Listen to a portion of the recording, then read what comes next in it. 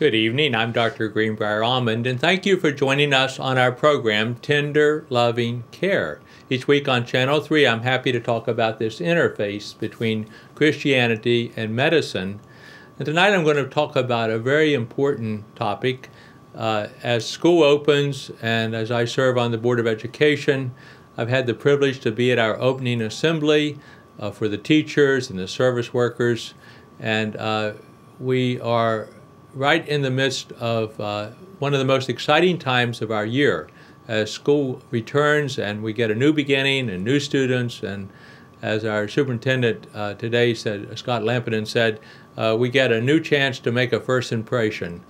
And, uh, and we have the really, really uh, deep privilege of opening young minds uh, to the world and, and solve problems and, and see them grow and flower and uh, so this is a good opportunity to talk about leadership. And I'll, I'll begin first just because this is uh, a program that I've done for 35 years. Uh, why do we have a program called Tender Loving Care? Well, that would be a leadership decision on my part to try to say something about the importance of tender loving care, of TLC, of, of loving and forgiving and living within family units and, and cooperating together as a community and all the things that tender loving care has meant to me and what I wanted to instill. So that, that's, that's a trait of leadership. Uh, but I want to I want to go into this in a deep way, and I want to take a uh, a look at a book, and I'm commonly doing this with you uh, and guiding you to to resource. Um, but uh, as a uh, Board of Education member, I've been given this book, Becoming a Better Board Member, a guide to effective school board service. I think the emphasis here again is on service. Uh, leaders are service oriented people. Uh, the director, again, the superintendent of the uh, uh, of the Board of Education of Upshur County, the superintendent of our schools, Scott Lampinen, uh, had different people stand up in our opening assembly. Uh, various characteristics they may have: a first-year teacher, a teacher who's taught 30 years or more, uh, all these people had a chance to stand. And, and uh, there were five of us who stood when he said, You are elected by your community for service. And, and that's the Board of Education. So, so uh, how do we be better leaders? How do we be better board members? And, and you may not feel called uh, to be on the Board of Education, but you might be a leader in your church.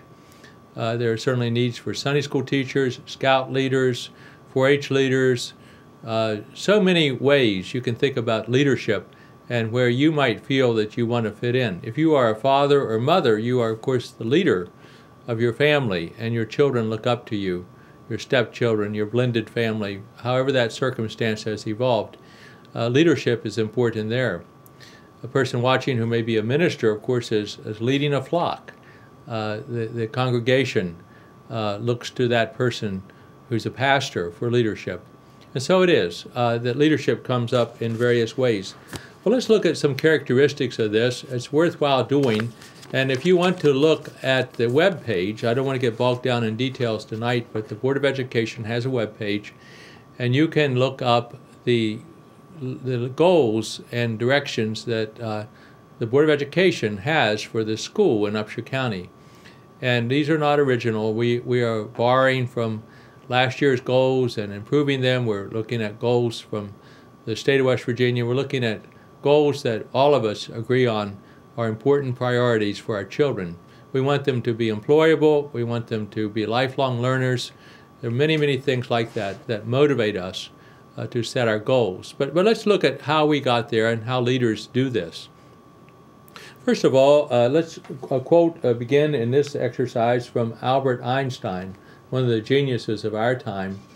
And, and he, he has uh, looked at the broad picture and come up with something I think that is quite appropriate. He says, Perfection of means and confusion of ends seems to characterize our age.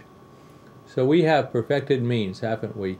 Uh, this TV broadcast is much better than the TV broadcast was 35 years ago when I began uh, the means of broadcasting is nearly perfect. Uh, and, and we now have a, uh, a, TV that has high definition uh, that we have at our house, and many of you all have TVs like that. And so, so the, the perfection of means is, is occurring more and more. Uh, but Einstein reminds us that there is also confusion about the ends, and this is a characteristic of our age. So, what are the ends? What when you watch a TV program, do you want to be educated? Do you want to be entertained? Uh, do you want it to be morally uplifting?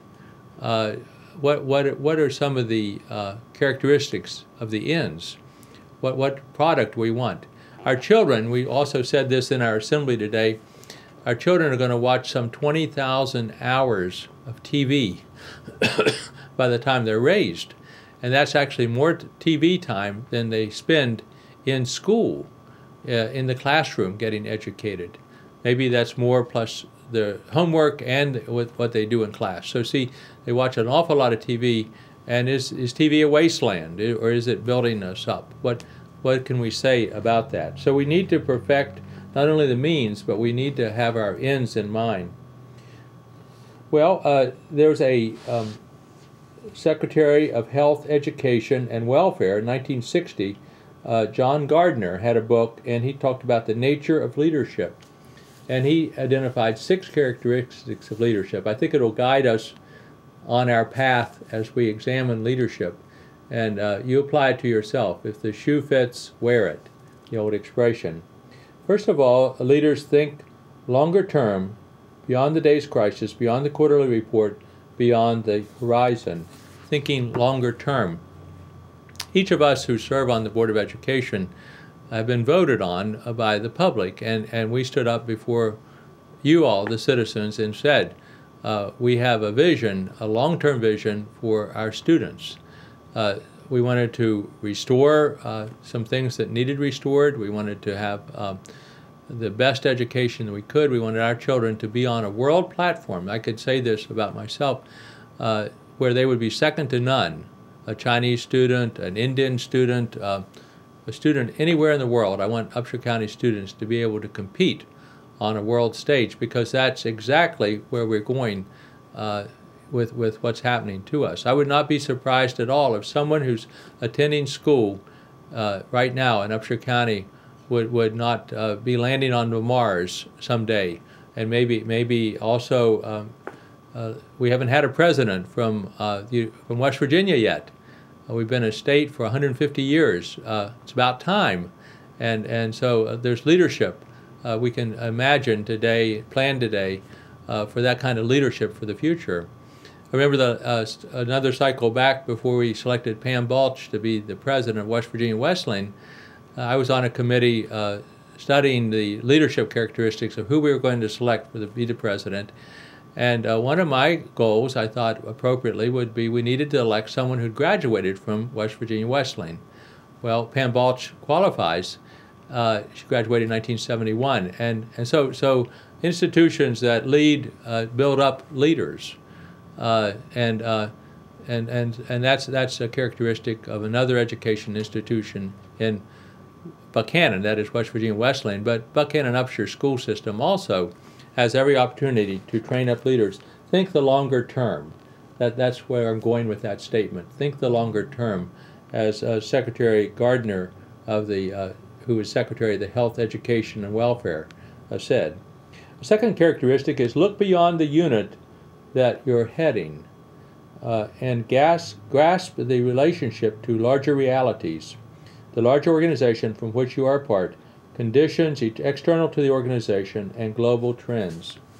Um, I, I, remember a leadership uh, talk uh, years ago I had in the VA, and uh, I liked the um, the analogy. I understood this uh, having a wife who's Filipino, having been in the Philippines and been in jungles. But uh, in, when you're in a jungle, you can't see very much. The overgrowth is is so tremendous, and and uh, so so if you want to see, you'd have to climb to the top of a hill and look out to get a larger vision, and or maybe climb a tree and look out.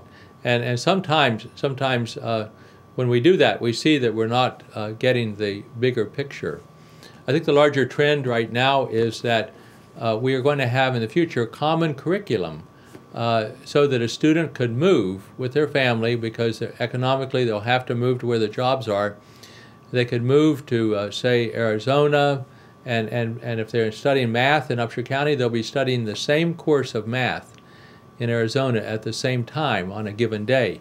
We'll have a common core of curriculum all the way across America. Makes a lot of sense. That day is coming. We'll be here very soon. That is just one example of looking beyond the unit that we are heading and grasp its relationship to larger realities.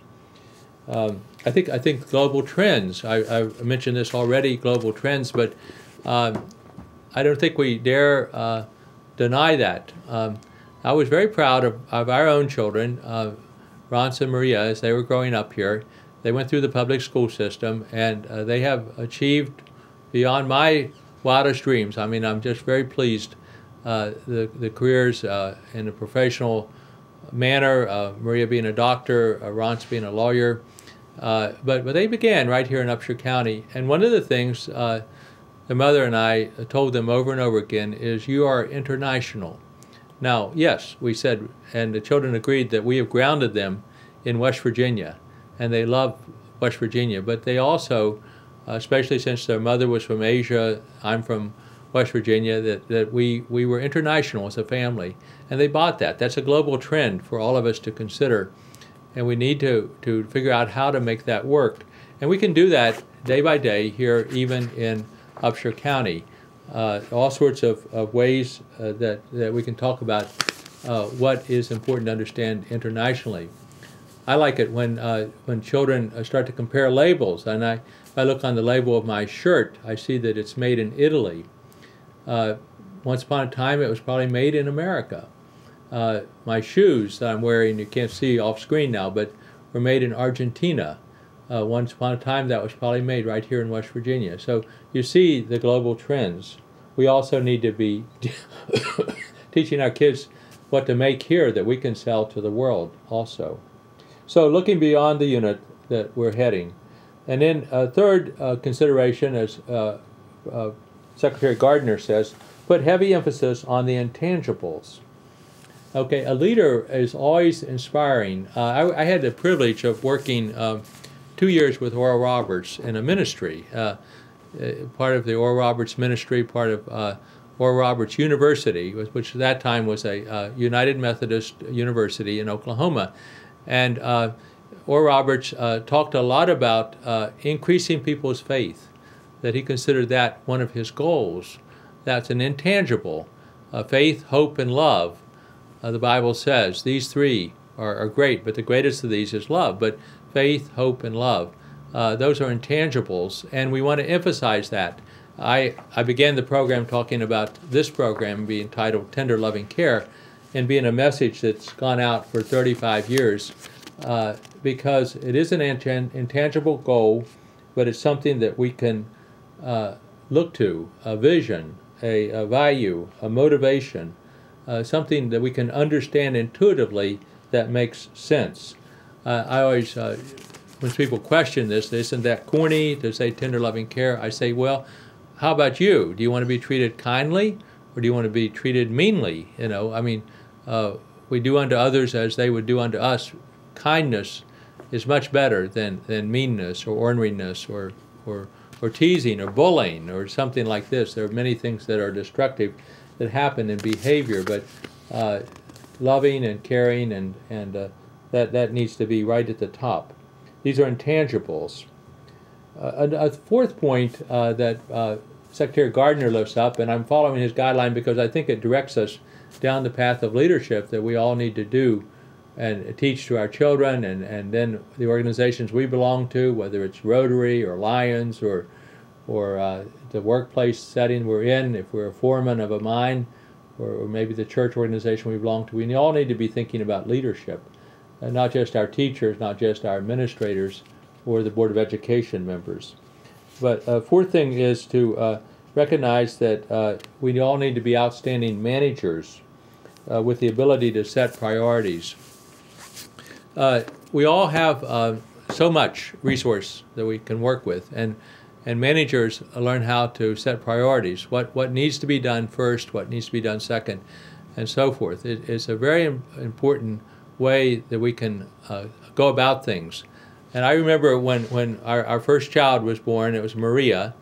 And so this was the first child I got to read to, the first child I got to teach songs to, and, and uh, of course, uh, uh, teach about life as, as she grew uh, uh, a year or so ahead of Roncevert. But anyway, I, I could see that Maria could not set priorities when, when she was uh, telling a story. If, if I read the story to her, then I would ask her, what did we just read? and share what you understand and you know just try to to help her uh, uh, get beyond what might be the superficial meaning. And so so she would have a hard time organizing priorities. But we stuck we stayed after that and and she organized better and better there was a time again I, I as a father I'm observing this I I could see that Maria uh, took a long time to make certain decisions and I said, "Oh my goodness, uh, how can she be an ER doctor? How can she work in emergency rooms like, like Rasley and I do up at St. Joseph's, or, or other situations where we deal with, with crises and, and manage the crises in people's lives? Uh, how can she do that? Because she's taking so long to make her decisions." And and so so I was I was trying to uh, uh to understand and teach uh, to Maria, uh, as managers do uh, the establishment of priorities.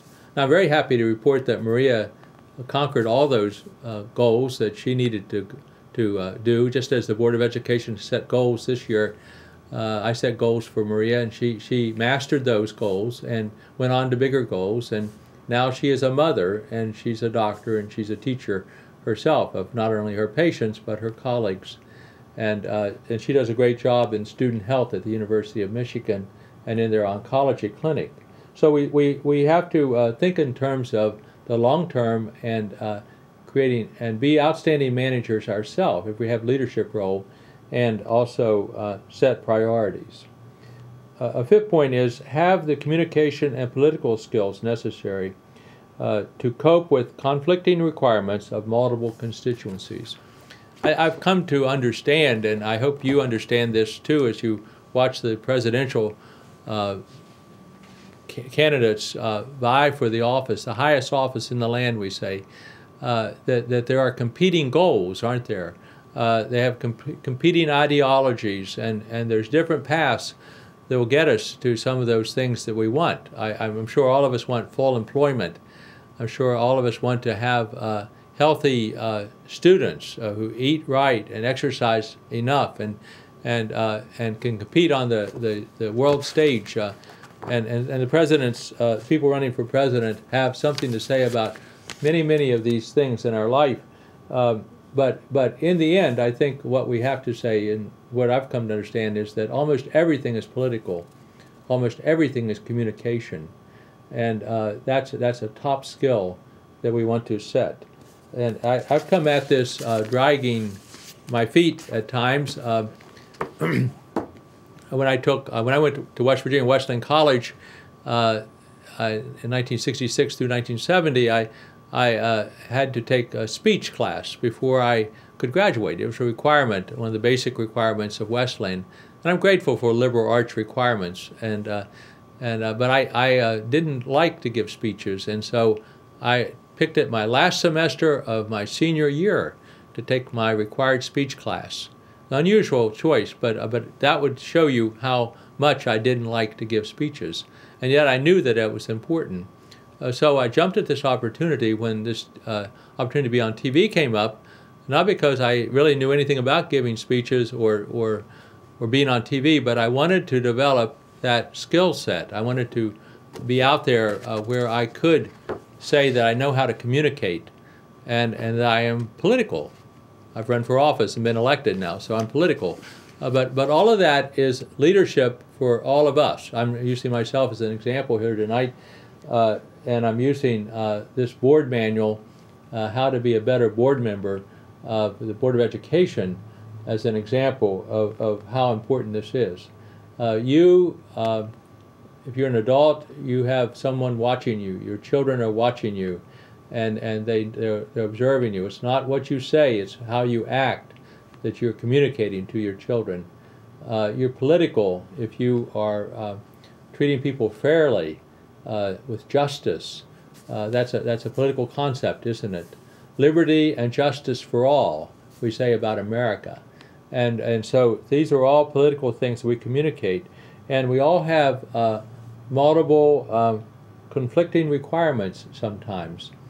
Uh, my, my, my, I, um, I'm not using this as, I'm not going to bring up any detail here to, tonight, but, but, but we got bogged down a little bit as a Board of Education a couple weeks ago um, with, with a, a, vendor type of, of discussion. Uh, there's a contract to who's going to sell uh, snacks at the uh, schools. And, uh, and so, so there's competition, that's fine each of these uh, companies uh, have a right to do business, and in fact, it's the livelihood of these folks, and they need to to have those contracts in order to do business. And so, uh, we realized, uh, uh, I think, after listening to both sides, that that we had a, a, contractual arrangement that was not actually clear.